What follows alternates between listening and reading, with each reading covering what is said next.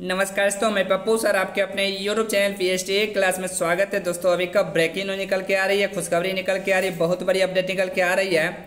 बिहार सचिवालय न्यू बहाली की रिगार्डिंग बात करने वाले इस वीडियो में अभी अभी विभाग की तरफ़ से ऑफिशियल नोटिस जारी किया गया है। तो इस वीडियो में बताएँगे जो कंप्यूटर का कौन सी डिग्री लगेगा टाइपिंग आप कैसे कीजिएगा, योग्यता क्या रहने वाला है मेट लिस्ट कैसे तैयार किया जाएगा, चयन प्रक्रिया क्या रहेगा, उम्र सीमा कब तक काउंट होगा, इसका सिलेबस क्या रहेगा सारी जानकारी वन बाय वन करके इस वीडियो में बिहार सचिवालय न्यू बहाली के बारे में बात करने वाले हैं। इससे पहले हमारे चैनल पर अपने चैनल को सब्सक्राइब कर और नोटिफिकेशन ऑन करिएगा। डेली विशेष से सच्चाई वीडियो पाने के लिए दोस्तों वीडियो में बने रहिए। चलिए बिना समय के बारे में वीडियो को स्टार्ट कर लेते हैं और सारी जानकारी वन बाय वन करके इस वीडियो में बिहार सचिवालय न्यू बहाली के बारे में बताएँगे। आप वीडियो में बने रहिए। सबसे पहले ऑफिशियल वेबसाइट से जो नोटिस विभाग के द्वारा जारी किया गया चलिए नोटिस डाउनलोड कर लेते हैं। कब से फॉर्म ऑनलाइन होना स्टार्ट हो रहा है? और फॉर्म ऑनलाइन करने वक्त डॉक्यूमेंट क्या क्या लगता है? कितना पेमेंट लगता है ऑनलाइन करने वक्त? सारी जानकारी वन बाय वन करके इस वीडियो में बताएँगे। बिहार सचिवालय न्यू बहाली के बारे में आप वीडियो में बने रहिए। देख लीजिए दोस्तों नोटिस डाउनलोड कर लिए हैं। देख लीजिए, बिहार विधान परिषद सचिवालय, पटना। आवश्यक सूचना, विज्ञापन संख्या ज़ीरो दो अब्लिक दो हज़ार तेईस। बिहार विधान परिषद सचिवालय के अंतर्गत अलग अलग संवर्गों में सहायक सहायक, अवधायक, डाटा एंट्री ऑपरेटर एवं निम्न वर्गीय लिपिक के रिक्त पदों पर भर्ती के लिए आयोजित होने वाली प्रतियोगिता परीक्षा हेतु विज्ञापन संख्या ज़ीरो दो अब्लिक दो हज़ार तेईस का प्रकाशन बिहार विधान परिषद सचिवालय द्वारा किया गया है, जिसे परिषद के वेबसाइट वेबसाइट भी दिया हुआ है पर देखा जा सकता है। उसके बाद आगे देख लीजिए ऑनलाइन आवेदन भरने से संबंधित तिथि एवं अन्य दिशा निर्देश। एक बार देख लीजिए। कब से फॉर्म ऑनलाइन होना स्टार्ट हो रहा है तो देख लीजिए पच्चीस से स्टार्ट हो रहा है, और यह चलने वाला कब है? तो बाईस आठ तक चलने वाला है। उसके बाद आगे देखिए कौन कौन स्टूडेंट्स फॉर्म को भर सकता है, कैसे फॉर्म भरिएगा, उसके बारे में देख लीजिए, यहाँ पर दिया हुआ है। कैसे आप फॉर्म भर सकते हैं, उसके बारे में दिया हुआ है। चलिए आगे हम बात कर लेते हैं। रिक्ति देख लीजिए, दोस्तों कैटेगरी वाइज आपको रिक्ति दिया हुआ है, देख लीजिए यहाँ पर। देख लीजिए पोस्ट वाइज और उसके बाद कैटेगरी वाइज आपको रिक्ति दिया गया है, यहाँ पर आप देख सकते हैं। उसके बाद चलिए, आगे हम बढ़ाते हैं। आगे देख लीजिए शैक्षणिक योग्यता क्या रहने वाला है, उसके बारे में हम लोग एक बार बात कर लेते हैं।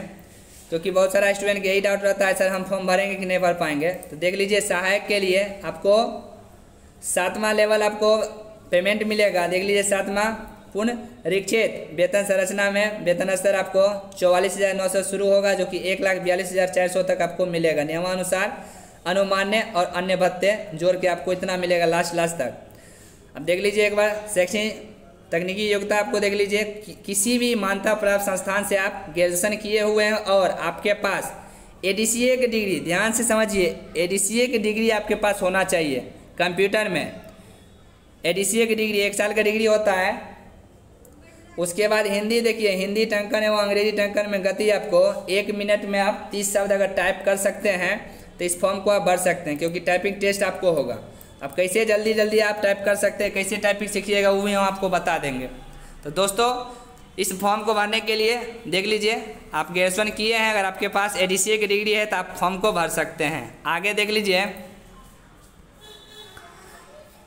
देख लीजिए, दूसरा पद है सहायक अवधायक।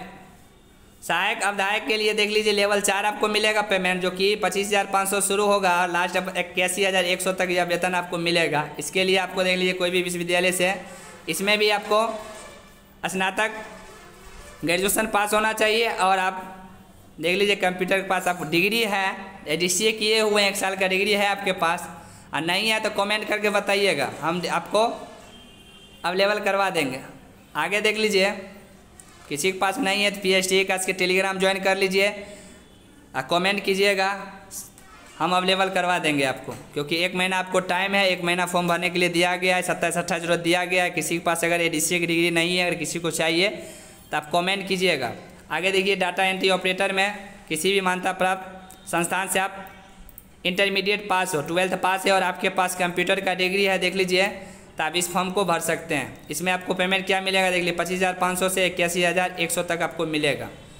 डाटा एंट्री हो गया, उसके बाद नीचे देख लीजिए, चौथा पद है इसके लिए निम्न वर्गीय लिपिक के लिए, जो कि लेवल टू आपको पेमेंट दिया जाएगा। उन्नीस हज़ार नौ सौ शुरू होगा और तिरसठ हज़ार दो तक, तिरसठ हज़ार दो सौ तक आपको मिलेगा लास्ट तक। देख लीजिए, इसमें भी आपको इंटरमीडिएट होना चाहिए, उसके बाद साथ में आपको ए की डिग्री है तो आप इस फॉर्म को भर सकते हैं। आगे देखिए, आरक्षण दिया है, आरक्षण अगर आपके पास देख लीजिए। आरक्षण में अगर आप आते हैं, अगर आप S C S T O B C S C S T है तो उसके लिए देख लीजिए। दिए हुए हैं आप यहाँ मूल निवासी, बिहार के मूल निवासी होना चाहिए और आपके पास जो यहाँ का सारा पता होना चाहिए तो आपको आरक्षण मिलेगा। ऑनलाइन कैसे कीजिएगा, उसके बारे में भी दिया हुआ है, देख लीजिए।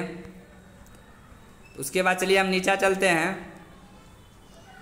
उम्र सीमा देख लीजिए उम्र सीमा भी बहुत सारा स्टूडेंट परेशान रहता है उम्र सीमा देखिए, मैक्सिमम आपको पहले मिनिमम ये देख लीजिए इक्कीस वर्ष। है देख लीजिए जो एक एक दो हज़ार तेईस तक अगर आप न्यूनतम, अगर आपका इक्कीस वर्ष है तो इस फॉर्म को भर सकते हैं, जो कि सहायक एवं सहायक अवधायक के लिए। दो पद के लिए है, आगे देखिए डाटा एंट्री एवं निम्न वर्गीय लिपिक के लिए। इसका भी एक एक दो हज़ार तेईस को जो है न्यूनतम, अगर अठारह वर्ष है तो इस फॉर्म को भर सकते हैं। देख लीजिए जो ग्रेजुएशन लेवल है, उसमें इक्कीस वर्ष है, जो अठारह वर्ष जो है, अठारह वर्ष है, जिसमें इंटर क्वालिफिकेशन अगर इंटर लेवल देखिए डाटा एंट्री ऑपरेटर है, निम्न वर्गीय, इसमें आपको क्वालिफिकेशन इंटर लेवल है, इसमें आपको न्यूनतम उम्र आपको 18 वर्ष और जिसमें ग्रेजुएशन लेवल उसमें इक्कीस वर्ष चाहिए। आगे भी दिया है अधिकतम आपको छूट भी मिलेगा। आरक्षित वाइज कैटेगरी वाइज दिया हुआ है, देख लीजिए। परीक्षा कैसे होगा, उसके लिए देख लीजिए, परीक्षा की पद्धति यहाँ पर देख लीजिए, दिया हुआ है। सहायक असहायक अवधायक डाटा एंट्री ऑपरेटर एवं निम्न वर्गीय लिपिक के पदों पर सीधी भर्ती है तो निम्न चरणों में जाँच परीक्षा ली जाएगी, जो कि देख लीजिए सहायक पदों की पर सीधी भर्ती है तो तीन चरणों में आपका परीक्षा लिया जाएगा। पहला प्रारंभिक परीक्षा होगा मार्कशीट पर होगा, उत्तर परीक्षा आधारित। देख लीजिए बहु विकल्पीय वस्तुनिष्ठ प्रश्न होगा, जो कि पहला हो गया, पीटी हो गया, दूसरा आपको देख लीजिए हिंदी इंग्लिश टाइपिंग होगा। देख लीजिए, जाँच परीक्षा तथा M S office word processing computer आधारित जाँच परीक्षा एवं तीसरा हो गया मुख्य परीक्षा। देख लीजिए इसमें इंटरव्यू आपको पूछा जाएगा। तो तीन में इसमें जो है तीन गो एग्ज़ाम है। पीटी के साथ आपको पीटी होगा, उसके बाद टाइपिंग होगा, उसके बाद आपका जो है इंटरव्यू होगा, उसमें पूछा जाएगा। देख लीजिए लास्ट आपको दिया गया है। टाइपिंग के आधारित पर आपको लेगा, उसके बाद जो है जाँच परीक्षा, मुख्य परीक्षा होगा, जिसमें पूछा जाएगा, उसके बाद आपको सिलेक्शन होगा। तो सारा चीज़ में दिया हुआ है, देख लीजिए।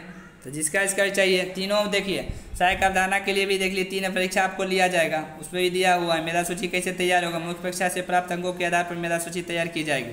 भर्ती प्रक्रिया, किसी भी चरण में असफल घोषित अभ्यर्थी अगले चरण की जाँच परीक्षा के योग नहीं होगी। कोई भी अगर आपको टाइपिंग में दिक्कत है या पीटी में अगर आपका अच्छा नंबर नहीं आया, तब आप जो है, वहीं और योग घोषित कर दिए जाएँगे। उसके बाद आगे दिल्ली डाटा एंट्री ऑपरेटर में भी आपको प्रारंभिक परीक्षा हो जाएगा ओ एम पर जो कि ऑफलाइन एग्ज़ाम होगा, उसके बाद हिंदी इंग्लिश आपका जो है देख लीजिए टाइपिंग होगा, उसके बाद जो है जाँच परीक्षा होगा इंटरव्यू उसके बाद ही आपको सिलेक्शन होगा।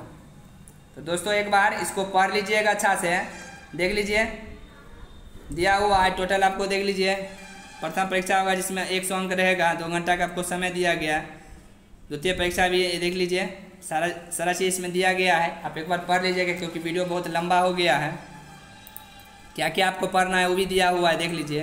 तो दोस्तों, अभी समय है, आज आपको 22 जुलाई हो गया 25 जुलाई से फॉर्म भरना स्टार्ट है। परीक्षा शुल्क भी दिया गया, देख लीजिए। छः सौ रुपया आपको जो जनरल आते हैं, उसके लिए छः सौ रुपया देना पड़ेगा, और और एस सी है, उसमें आपको जो है, चालीस प्रतिशत जो है कटेगा, उसके बाद आपको देख लीजिए। जनरल के लिए आपको बारह सौ रुपया दिया जाएगा। देख लीजिए जनरल है और ओबीसी है, उसको बारह सौ दिया जाएगा। जो एस सी है, उसको छः सौ रुपया।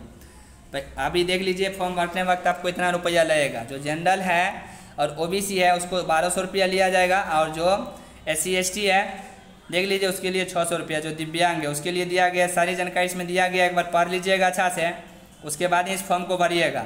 हाँ जिसको सर्टिफिकेट चाहिए ए डी के सर्टिफिकेट चाहिए तो वह कमेंट कीजिएगा जो हमको सर्टिफिकेट चाहिए।